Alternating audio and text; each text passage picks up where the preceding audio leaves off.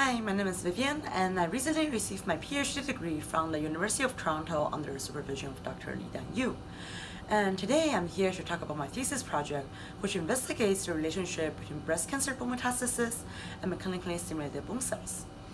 So bone metastasis, which is the migration of cancers to the bone, is a common and severe complication of breast cancer that is currently incurable.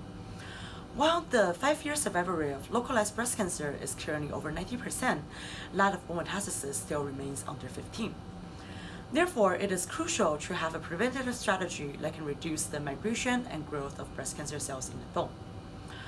So one reason that breast cancer frequently metastasizes to the bone is that breast cancer cells are capable of interacting with other cells in the bone to disrupt the balance of bone remodeling and this creates a favorable environment for the breast cancer cells to grow in the bone and creates a vicious cycle between reduced bone quality and increased tumor growth in the bone.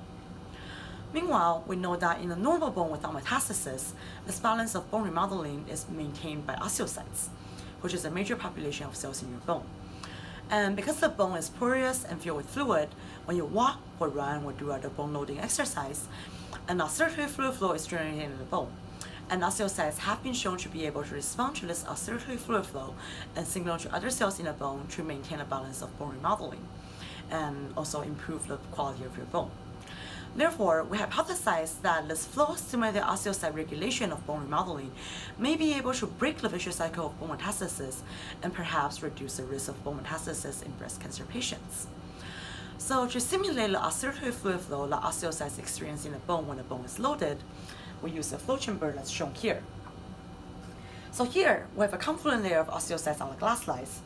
We place them in the flow chambers, fill the flow chamber with fluid, and then connect the flow chamber to syringes on a linear actuator that will pump the fluid back and forth in the flow chamber.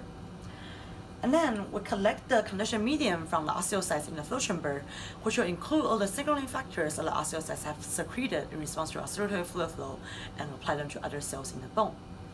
So with that, we found that when osteocytes are stimulated with oscillatory fluid flow, which simulates what they experience when the bone is loaded, they signal through osteoclasts and endothelial cells of the bone, which in turn signals to breast cancer cells and that reduces the invasion, migration, and growth of the breast cancer cells.